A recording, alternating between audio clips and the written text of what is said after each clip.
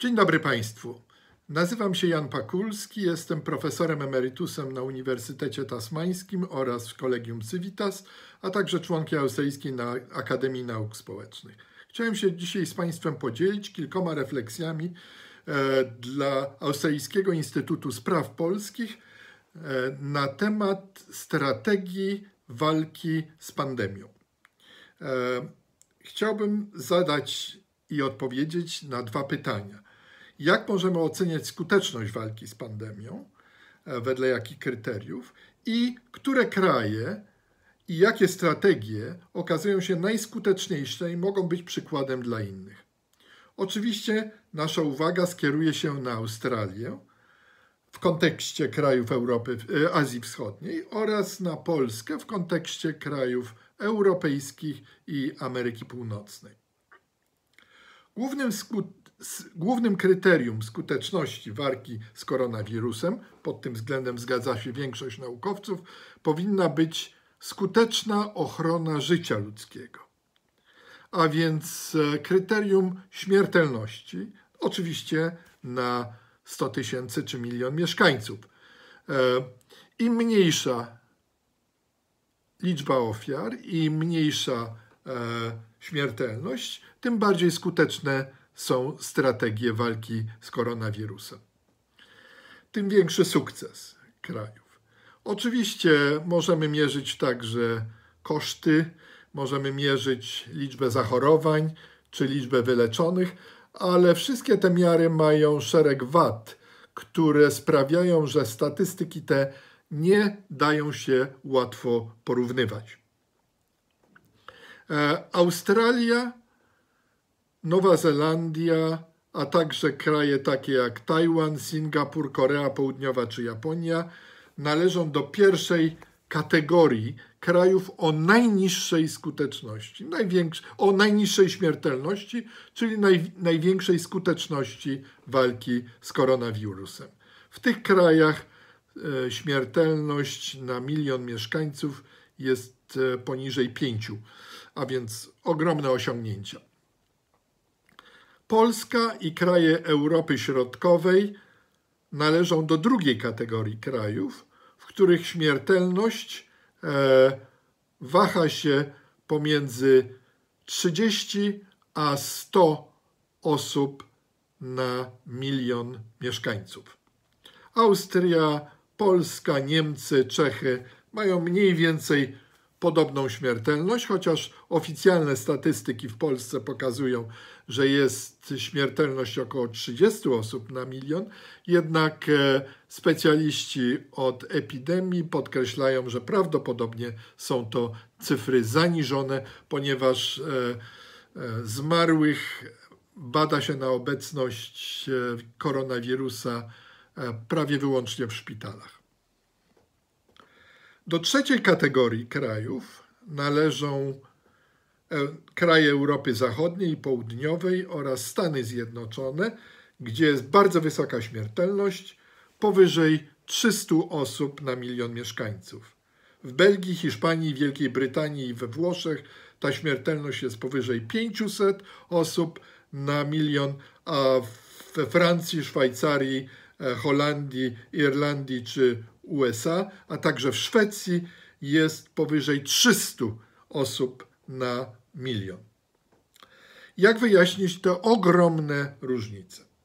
Oczywiście można spróbować, można zaczynać wyjaśnienie od tego, że e, szereg czynników sprzyja pandemii, sprzyja śmiertelności, takie jak mobilność ludności, e, starzejąca się populacja, E, gęstość e, i zaludnienia i koncentracja ludności w wielkich miastach, czy słaba służba zdrowia i stan przygotowania do pandemii. Niemniej będziemy się starali argumentować, że we wszystkich tych wymiarach różnice pomiędzy krajami są zbyt wielkie, aby te czynniki mogły wyjaśnić nam ogromnie wiele, wiele, wiele, wielokrotnie większe współczynniki śmiertelności. A więc musimy szukać innych przyczyn i sugeruję, żeby spojrzeć na dwa takie czynniki. Po pierwsze, jakie strategie walki, jak szybko zareagowały kraje na pandemię. Po drugie, jak zareagowało na nie przywództwo polityczne. Błędy przywództwa politycznego powodują spadające zaufanie, a tym, a tym samym spadającą skuteczność walki z koronawirusem. E, Australia razem z krajami wschodniej Azji, takimi jak Singapur, przyjęła strategię walki, która okazała się niezwykle skuteczna i którą określa się jako 4T po angielsku transparency, testing, tracing and treatment. A więc e, wysoka transparencja danych, jasność i, i e, wszystkich statystyk, e, wysoki stopień testowania, to jest niezwykle ważny czynnik sukcesu bardzo efektywne identyfikowanie ludzi zakażonych. W Australii stosuje się do tego obecnie także aplikację telefoni- w telefonach mobilnych, która pozwala identyfikować kontakty. W wypadku zakażenia jest to oczywiście niezwykle pomocne i skuteczne. I wreszcie treatment oznacza, że zakażonych koronawirusem natychmiast poddaje się specjalistycznej opiece medycznej w szpitalach. To jest też ważny czynnik zmniejszający śmiertelność. E, w tej chwili w Australii e, śmiertelność jest bardzo niewielka. Zmarło na koronawirusa tylko około 100 osób. Natomiast w Europie te cyfry są zastraszające i większość krajów europejskich przechodzi już do fazy wygaszania epidemii i do fazy rozruchu gospodarki, e, które są bardzo niebezpiecznymi fazami, w których ryzyko nie przestaje być małe, wręcz przeciwnie, zwiększa się zależnie od tego, jakie podejście do tak zwanego rozmrażania gospodarki podejmują przywódcy i rządy tych krajów. Także na zakończenie chciałbym dodać tutaj krótki komentarz e, na temat skuteczności rozmrażania, skuteczności mierzonej wysokością śmiertelności. E, w Australii, jak już powiedziałem, stosuje się bardzo dobrą strategię. Mianowicie E, jest to stopniowe rozmrażanie ekonomii e, z zabezpieczeniami, które odbywa się, to jest bardzo ważny czynnik, dopiero po opanowaniu, po zdławieniu głównych ognisk zakażeń. Przystępowanie do rozmrażania ekonomii, zanim się to zrobi, grozi wysokim ryzykiem, o czym przekonały się władze Korei Południowej, które e, najpierw nakazały dzieciom wracać do szkół, a w e, dniu wczorajszym, kiedy stwierdzono, że to łączy się z gwałtownym wzrostem ilości zakażeń, tę e, instrukcję cofnęły i w tej chwili 200 szkół znów wprowadza zdalne uczenie. Takie powroty są bardzo kosztowne i ryzykowne. Drugi czynnik skuteczności rozmrażania to elastyczność łatwy odwrót, zależnie od ryzyka.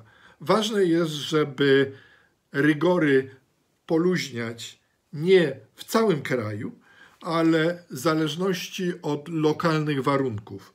Dlatego strategia australijska, w której rządy stanowe decydują o tym, czy rygory te poluźniać, jest dużo, moim zdaniem, skuteczniejsza. E, umożliwia to także monitoring trzeba uważnie obserwować, czy poluźnienie rygorów nie spowoduje wzrostu zakażeń i wzrostu śmierci. Trzeci czynnik to to, żeby zintegrować te posunięcia pomiędzy poszczególnymi władzami, organami władz, władz lokalnych w szczególności, tak żeby instrukcje na temat postępowania, instrukcje na temat rozmrażania ekonomii były przekazywane w sposób zgodny i spójny. Po czwarte, unikać sprzecznych wiadomości. Tutaj e, E, trudno się powstrzymać od krytycznych uwag wobec krajów i przywódców Europy Zachodniej czy Stanów Zjednoczonych, którzy najpierw lekceważyli pandemię, potem próbowali ją wyjaśniać w sposób bardzo upolityczniony, a wreszcie e, stwierdzili, że właściwie nie wiedzą, kto jest odpowiedzialny za e, walkę z koronawirusem, a w tej chwili za odmrażanie ekonomii. To jest sytuacja sprzyjająca chaosowi i sprzyjająca wielkiej śmiertelności. Ostatnim czynnikiem sukcesu, moim zdaniem, jest jasna komunikacja z obywatelami. Żeby przekazy płynące od liderów, od władz stanowych, państwowych, e, były nie tylko niesprzeczne ze sobą, ale także jasne. Żeby te instrukcje nie pozostawiały e, miejsca na E, różnego rodzaju e, arbitralne decyzje czy niejasne stwierdzenia, które nie wiadomo jak interpretować. I wreszcie e, kilka uwag na temat typowych błędów, które zwiększają ofiary pandemii i które mogą sparaliżować tę, ten, tę fazę przejścia do normalnej gospodarki, odmrażania gospodarki. Pierwszym takim błędem powszechnym w Europie Zachodniej i w Stanach Zjednoczonych jest arbitralność decyzji władz.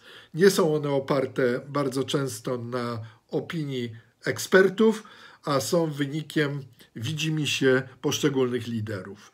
To sprawia chaos. Po drugie, bardzo demoralizujące jest łamanie zasad e, czy walki z, z koronawirusem, czy odmrażanie ekonomii przez samych przywódców. Powoduje to cynizm, obniża efektywność działania i obniża przede wszystkim zaufanie do przywódców. Jeśli przywódcy sami nie stosują się do instrukcji, które przekazują publiczności, każdy zadaje sobie pytanie, dlaczego ja mam cierpieć skutki tych rygorów, skoro sami przywódcy stawiają się ponad prawem i tego nie robią.